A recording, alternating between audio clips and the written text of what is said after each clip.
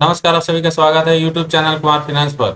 Alkyl एमिन्स chemicals limited जो कि speciality chemical sector से बिलोंग करने वाली एक कंपनी है। तीन चार महीना पहले मैंने एक इस पर वीडियो बनाया था, जिसमें मैंने इस शेयर को बाई करने के लिए सजेस्ट किया था। तब से इस शेयर का मूवमेंट देखा जाए तो ये शेयर करीब सत्तर या पचहत्तर परसेंट ऊपर जा चुका है। क्योंकि तब इस शेयर का मार्केट प्राइस पैंतालीस सौ से छियालीस सौ रुपया के रेंज में चला करता था, जो अब आठ हज़ार रुपया को क्रॉस कर चुका है। देखा जाए तो ये शेयर पिछले एक महीना में 36 से सैंतीस परसेंट का रिटर्न दिया है, जबकि पिछले तीन महीना में 70 परसेंट से ज़्यादा का रिटर्न दे चुका है अपने इन्वेस्टर्स को। क्या इस लेवल पर भी इस शेयर को बाई किया जा सकता है? ये कंपनी फंडामेंटली कितनी स्ट्रांग है? इस वीडियो के माध्यम से इसका हम स्टॉक एनालिसिस करेंगे फ्यूचर के प्रोस्पेक्ट को समझने की कोशिश करेंगे। ये पूरा डिटेल जानने के लिए इस वीडियो को स्टार्ट करें। उसके पहले मैं कहना चाहूँगा, अगर आप फ़र्स्ट टाइम विजिटर हैं इस चैनल पर, या अब तक आपने इस चैनल को सब्सक्राइब नहीं किया है चैनल को सब्सक्राइब करके बेल आइकन का बटन ज़रूर प्रेस करें, ताकि जब भी कोई वीडियो इस चैनल पर अपलोड हो नोटिफिकेशन आपको मिलती रहे।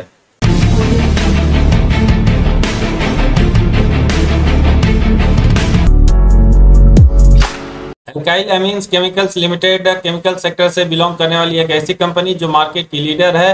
ये 1979 में इनकॉर्पोरेट हुई थी और इसके फाउंडर है mister Yogesh Kothari. Alkyl Amines एक लीडिंग मैन्युफैक्चरिंग कंपनी है जो अल्फेटिक एमीन्स की मैन्युफैक्चरिंग करती है इंडिया में और इसके प्रोडक्ट न सिर्फ़ इंडिया में सेल होते हैं, बल्कि दुनिया के बहुत सारे कंट्रीज़ में इसके प्रोडक्ट के सप्लाई किया जाता है। जैसा कि मैं हमेशा कहता हूँ, कोई भी कंपनी कितनी फंडामेंटली स्ट्रांग है, उसके लिए उसके एनुअल रिपोर्ट देखे, कम से कम आठ से दस सालों का, चाहे उसका प्रॉफिट एंड लॉस स्टेटमेंट हो या बैलेंस शीट हो। एल्काइल अमीन्स का प्रॉफिट एंड लॉस स्टेटमेंट देखे पिछले 11-12 सालों का तो यहाँ पर डेटा अवेलेबल है 2009 से लेके 2020 तक का। इस पीरियड में सेल्स इसका एक करोड़ से बढ़ के नौ सौ तिरानवे करोड़ हो जाता है। ऑपरेटिंग प्रॉफिट देखे तो यहाँ पर ये 21 करोड़ से बढ़ के दो करोड़ हुआ है इस पीरियड में, और उसका रिफ्लेक्शन इसके ओपीएम के परसेंटेज पर देखने को मिलेगा, और ये लगातार इंप्रूव होता हुआ दिखेगा, क्योंकि ये 11 परसेंट जो 2009 के पीरियड में हुआ करता था बढ़ के 26 परसेंट तक पहुँच चुका है, जो इसका लेटेस्ट एनुअल रिपोर्ट है मार्च 2020 तक का। नेट प्रॉफिट इसका काफ़ी शानदार तरीके से बढ़ा है पिछले 12 सालों में, क्योंकि 6 करोड़ जो हुआ करता था 2009 में, वो बढ़ के 215 करोड़ हो चुका है। अगर इसका कंपैरिजन इसके सेल से करे तो ये काफ़ी अच्छा परफॉर्मेंस देते हुए कंपनी नज़र आ रही है, क्योंकि इसका सेल्स जो मात्र पाँच गुना हुआ है पिछले बारह सालों में, इसका नेट प्रॉफिट करीब चौंतीस पैंतीस गुना बढ़ा है। अर्निंग पर शेयर भी इसका लगातार इंप्रूव होता हुआ दिख रहा है। ये जो दो रुपये सत्तर पैसा हुआ करता था, ये बढ़ के एक सौ पाँच रुपया पचपन पैसा हो गया है पिछले बारह सालों में। ये कंपनी ठीक ठाक डिविडेंड भी देती है, इसलिए डिविडेंड पे आउट का परसेंटेज भी स्टार्टिंग से सैंतीस परसेंट, इकतीस परसेंट आपको दिखेगा। बीच में एक बार के लिए ये अठारह परसेंट या उन्नीस परसेंट के रेंज में तो पहुँचा है, लेकिन एक बार फिर से ये कंपनी थोड़ी सी इंप्रूव करती हुई नज़र आ रही है और बीच के पीरियड में 20 से 22 परसेंट के रेंज में पहुँचता है। लेकिन फाइनली जो 2020 का एनुअल रिपोर्ट इसका आया था, वहाँ पर ये कंपनी 19 परसेंट के आसपास डिविडेंड पे आउट दी है। अल्काइल अमीन्स का पिछले 10 सालों का ओवरऑल परफॉर्मेंस परसेंटेज वाइज देखा जाए तो इसका कंपाउंडेड सेल्स ग्रोथ पिछले तीन साल में 26 परसेंट हुआ है, पाँच साल में 16 परसेंट जबकि 10 साल में ये 17 परसेंट देखने को मिला है। पिछला एक साल कोरोना की वजह से बहुत ज़्यादा बिजनेसेस डैमेज रहे वहाँ पर भी एक कंपनी ने अच्छा ग्रोथ दिखाया है और इस एक साल में इसने करीब 10 परसेंट के आसपास अपना सेल्स ग्रोथ दिखाया है।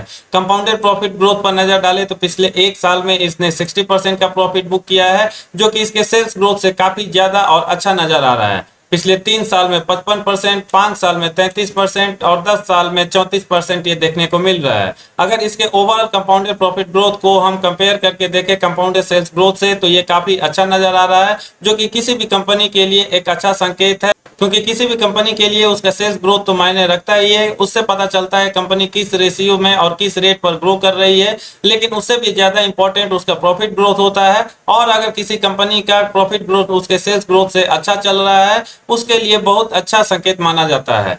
स्टॉक प्राइस सीएजीआर पर नज़र डालें तो ये कंपनी पिछले 10 सालों में मल्टीबैगर साबित हुई है। क्योंकि मात्र एक साल में ये कंपनी ने 330 परसेंट का रिटर्न दिया है। तीन साल में 125 परसेंट का, पाँच सालों में बानवे परसेंट का, जबकि दस सालों में उनहत्तर परसेंट का।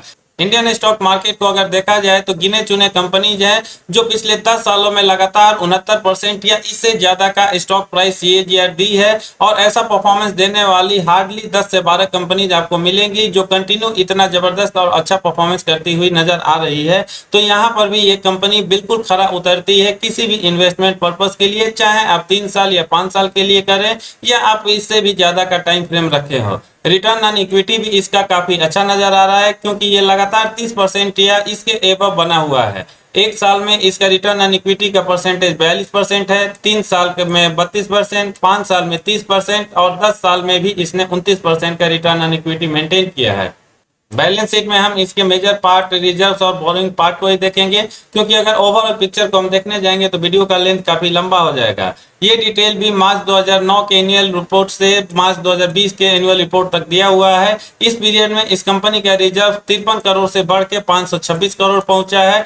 यानी इस कंपनी ने लगातार अपने रिज़र्व को बढ़ाने में कामयाबी हासिल की है।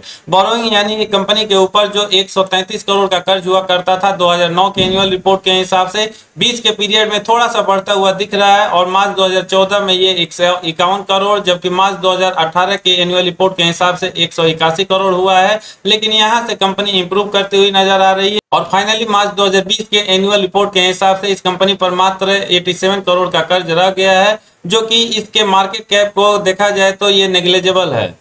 एल्काइल अमीन्स का रेशियो पार्ट को देखा जाए तो ये डेटा भी यहाँ पर 2009 से लेके 2020 तक का दिया हुआ है।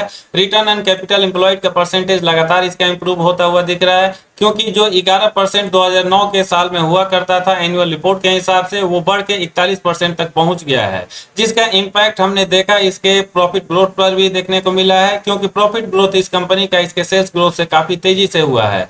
रेशियो में डेटा डेज़ भी इस कंपनी का इंप्रूव होता हुआ दिख रहा है, क्योंकि मार्च 2009 के एनुअल रिपोर्ट के हिसाब से जो 70 दिन का हुआ करता था, वो घट के 60 दिन तक पहुँच चुका है मार्च 2020 के एनुअल रिपोर्ट के हिसाब से।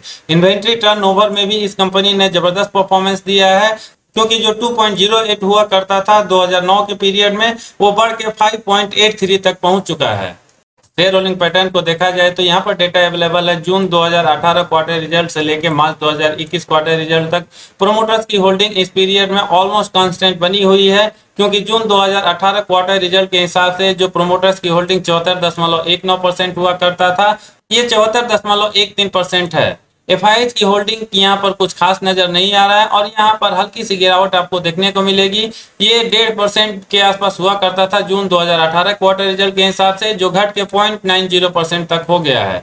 डी की होल्डिंग भी यहाँ पर कोई खास नज़र नहीं आ रहा है। हालाँकि यहाँ पर आपको थोड़ा सा इंप्रूवमेंट नज़र आएगा, क्योंकि ये पॉइंट ज़ीरो सेवन परसेंट जो जून 2018 क्वार्टर रिज़ल्ट के हिसाब से था, बढ़ के ऑलमोस्ट डेढ़ परसेंट के आसपास पहुँच चुका है। गवर्नमेंट की होल्डिंग स्टार्टिंग से ना के बराबर बनी हुई है, लेकिन लास्ट क्वार्टर रिज़ल्ट जो मार्च 2021 का इसका आया था, इसके हिसाब से गवर्नमेंट की होल्डिंग पॉइंट दिख रहा है। पब्लिक की होल्डिंग भी ऑलमोस्ट कांस्टेंट आपको नज़र आएगा, जो चौबीस दशमलव एक नौ परसेंट जून 2018 के क्वार्टर रिज़ल्ट के हिसाब से था। ये घट के थोड़ा सा बाईस दशमलव नौ आठ परसेंट, यानी करीब तेईस परसेंट के आसपास बना हुआ है। जैसा कि अब तक हमने देखा, इस कंपनी ने बहुत सारे पैरामीटर पे अच्छा ही परफॉर्मेंस दिया हुआ है। उसकी वजह से इसका प्रॉस का लिस्ट थोड़ा सा लंबा नज़र आ रहा है, जबकि कॉन्स में एक मात्र आपको चीज़ नज़र आएगी। प्रॉस पार्ट को देखा जाए तो कंपनी ने पिछले कुछ सालों में अपने कर्ज को कम किया है और ये कंपनी ऑलमोस्ट डेट फ्री नज़र आ रही है। पिछले पाँच सालों के रिकॉर्ड के हिसाब से इस कंपनी ने अच्छा प्रॉफिट ग्रोथ दिखाया है और ये तैतीस दशमलव ज़ीरो चार परसेंट सी नज़र आ रहा है। पिछले तीन सालों के रिकॉर्ड के हिसाब से इस कंपनी का रिटर्न ऑन इक्विटी भी अच्छा नज़र आ रहा है और रिटर्न ऑन इक्विटी का ट्रैक इसका करीब बत्तीस दशमलव ज़ीरो सात परसेंट का रहा है पिछले तीन सालों में। पिछले कई सालों से लगातार ये कंपनी अच्छा और हेल्दी डिविडेंड देती हुई नज़र आ रही है। इसलिए इसके डिविडेंड पे आउट का परसेंटेज ऑन एवरेज 20.24 परसेंट है। अगर इसके कॉन्स पार्ट को देखा जाए तो एकमात्र निगेटिव चीज़ जो इस कंपनी में निकल कर आ रही है, इसके शेयर का करेंट मार्केट प्राइस इसके बुक वैल्यू से 26.26 टाइम्स ज़्यादा चल रहा है। और अमूमन हम देखते हैं, अगर कोई कंपनी और उसका बिज़नेस अच्छा परफॉर्मेंस करते हुए नज़र आता है तो उसके शेयर का मार्केट प्राइस उसके बुक वैल्यू से काफ़ी ज़्यादा देखने को मिलता है। ये रहा काइल अमीन्स के बिज़नेस और शेयर का पास्ट परफॉर्मेंस जो ऑलमोस्ट हमने पिछले दस सालों का डेटा देखा। आगे बढ़ते हुए हम इसके इन्वेस्टमेंट चेकलिस्ट देख लेते हैं और फिर हम बात करेंगे क्या इस शेयर को करेंट मार्केट प्राइस पर बाई किया जा सकता है। एल्काइल समिंस केमिकल लिमिटेड के इन्वेस्टमेंट चेकलिस्ट को देखें तो इंटरेस्टिक वैल्यू इसका रेट जोन में है। और जैसा कि हमने देखा, इसके शेयर का करेंट मार्केट प्राइस इसके बुक वैल्यू से ज़्यादा है। और इंटरेस्टिक वैल्यू रेट जोन में होने का मतलब है, इसके शेयर का करेंट मार्केट प्राइस इसके स्वाभाविक वैल्यू या फेयर वैल्यू से ज़्यादा चल रहा है। रिटर्न वर्सेज एफडी रेट्स इसका ग्रीन जोन में है, क्योंकि एफडी से काफ़ी अच्छा और शानदार रिटर्न दिया है इस शेयर ने पिछले कई सालों में। ये कंपनी ठीक ठाक डिविडेंड भी देती है, इसलिए डिविडेंड रिटर्न्स भी आपको ग्रीन जोन में दिखेगा। फ़िलहाल ये शेयर ओवरबाउट जोन में नहीं पहुँचा है, इसलिए एंट्री पॉइंट भी यहाँ पर ग्रीन जोन में नज़र आ रहा है। इस कंपनी के ऊपर कोई खास कर्ज नज़र नहीं आया। ये फ़िलहाल एएसएम या जीएसएम लिस्ट में भी नहीं है, इसलिए यहाँ पर कोई रेड फ्लैग आपको देखने को नहीं मिलेगा। मटेरियल्स जैसा कि हमने देखा, ये स्पेशलिटी केमिकल्स सेक्टर से आने वाली कंपनी है और स्पेशलाइज केमिकल की मैन्युफैक्चरिंग करती है, जिसका सप्लाई इंडिया और इंडिया के बाहर होता है। करंट टाइम में ये मिड कैप से बिलोंग करने वाली कंपनी है और इसका मार्केट कैप पंद्रह करोड़ देखने को मिल रहा है। अगर इसके शेयर प्राइस में वोलाटिलिटी को देखा जाए तो ये मॉडरेट रिस्क में चलता है, क्योंकि ये निफ्टी से 2.65 टाइम्स ज़्यादा वोलाटाइल रहता है। पिछले वन वीक में इस शेयर ने करीब 34 परसेंट का रिटर्न दिया है अपने इन्वेस्टर्स को। एक महीना का डेटा देखे तो शेयर मार्केट में बहुत ज़्यादा ग्रोथ देखने को तो नहीं मिला था, लेकिन इस शेयर ने पिछले एक महीना में भी अड़तीस परसेंट का रिटर्न दिया है अपने इन्वेस्टर्स को। एक साल में अगर देखें तो ये शेयर ने ज़बरदस्त परफॉर्मेंस देते हुए तीन परसेंट के आसपास रिटर्न दिया है। पाँच साल का डेटा देखा जाए तो ये शेयर अब तक मल्टीबैगर बन चुका है, क्योंकि इस पीरियड में इस शेयर ने करीब पच्चीस सौ सत्ताईस परसेंट के आसपास रिटर्न दिया है अपने इन्वेस्टर्स को। अगर मैक्सिमम रिटर्न की भी बात किया जाए तो ये शेयर मल्टीबैगर ही आपको नज़र आएगा, क्योंकि इसने जनवरी 2000 से लेके अब तक तीस हज़ार दो सौ उन्नासी परसेंट के आसपास रिटर्न दिया है। ये शेयर किसी जमाने में दो रुपया दस पैसा का हुआ करता था, जो बढ़ के इसने हाई आठ हज़ार चार सौ तैतालीस रुपया तक पहुँचा है। SIP के माध्यम से भी अगर कोई इस शेयर में इन्वेस्ट किया होगा तो उसको भी ज़बरदस्त रिटर्न मिला होगा, क्योंकि पिछले पाँच सालों में SIP के माध्यम से इस शेयर ने ऑलमोस्ट ग्यारह परसेंट के आसपास रिटर्न दे चुका है अपने इन्वेस्टर्स को। ओवरऑल देखा जाए तो इस शेयर ने ज़बरदस्त परफॉर्मेंस दिया है। अपने इन्वेस्टर्स को न सिर्फ़ मल्टी बैगर रिटर्न दिया है, बल्कि माला माल किया है। कि आप समझ सकते हैं, अगर कोई शेयर दो रुपया, तीन रुपया पर किसी जमाने में चलता है और वो शेयर आठ हज़ार के पार तक पहुँच जाता है, कितना अच्छा रिटर्न दे चुका है वो अपने इन्वेस्टर्स को। फोरकास्ट में यहाँ पर बहुत ज़्यादा एनालिस्ट ने अपना ओपिनियन तो नहीं शेयर किया है। जो भी दो एनालिस्ट ने अपना ओपिनियन शेयर किया है, उसमें दोनों एनालिस्ट का मानना है, इस शेयर को अभी भी बाई किया जा सकता है। क्योंकि ये शेयर आगे भी अच्छा रिटर्न देने की काबिलियत रखता है। फाइनली अगर बात किया जाए, क्या एल्काइल अमीन्स केमिकल्स लिमिटेड के शेयर को करेंट मार्केट प्राइस पर भी बाई किया जा सकता है? मेरे हिसाब से केमिकल सेक्टर का फ्यूचर काफ़ी अच्छा नज़र आ रहा है और कुछ पैरामीटर्स जिस पर मैं कोई भी शेयर का एनालिसिस करता हूँ, जैसे रिटर्न एंड कैपिटल एम्प्लॉयड का परसेंटेज आर का परसेंटेज उसका earning per share sales growth profit growth उसके फ्यूचर का प्रोस्पेक्ट और मैनेजमेंट हर पैरामीटर पे ये कंपनी खरा उतरती है। इसलिए मेरा अभी भी मानना है, इस शेयर को करेंट मार्केट प्राइस पर भी बाई किया जा सकता है, लेकिन जो कोरोना की वजह से मार्केट का सिचुएशन है, यहाँ पर अगर आपको इन्वेस्ट करना है एसआईपी का रास्ता अपनाए, क्योंकि मार्केट में वोलाटिलिटी बनी रहेगी, और अगर आप एसआईपी के माध्यम से जाते हैं तो आपका प्राइस का एवरेजिंग हो जाएगा। अगर आप ट्रेडर है तो भी आप इस शेयर को कंसीडर कर सकते हैं। बसरते आपका टाइम होराइजन एक से डेढ़ महीना का कम से कम हो। क्योंकि हो सकता है मार्केट में वोलाटिलिटी की वजह से इसमें एक करेक्शन देखने को मिले और पिछले एक सप्ताह या एक महीना में जिस तरीके से इसके शेयर प्राइस में ग्रोथ देखने को मिला है, यहाँ पर थोड़ी सी बिकवाली नज़र आ सकती है, जिसका इम्पैक्ट इसके शेयर प्राइस में गिरावट के साथ देखने को मिल सकता है। इसलिए बेटर है, अगर आप इस शेयर में ट्रेड करना चाहते हैं थोड़ा सा टाइम का ड्यूरेशन ज़्यादा लेकर चलें। ये तो रहा एल्काइल केमिकल्स लिमिटेड का ओवरऑल एनालिसिस वीडियो के आखिरी पड़ाव में मैं कहना चाहूँगा। अगर आप इंडिया के बेस्ट ब्रोकिंग फॉर्म में डिमेट और ट्रेडिंग अकाउंट ओपन करना चाहते हैं तो आप एंजल ब्रोकिंग और जीरोधा को कंसिडर कर सकते हैं, क्योंकि ये कंपनीज़ ना सिर्फ़ अच्छी फैसिलिटीज़ देती है, बल्कि इनका ट्रेडिंग चार्जेस भी काफ़ी कम लगता है। इन दोनों का लिंक मैंने डिस्क्रिप्शन बॉक्स में डाल दिया है। इसलिए आप चाहें तो उस लिंक के थ्रू आप अपना डिमेट या ट्रेडिंग अकाउंट ओपन कर सकते हैं।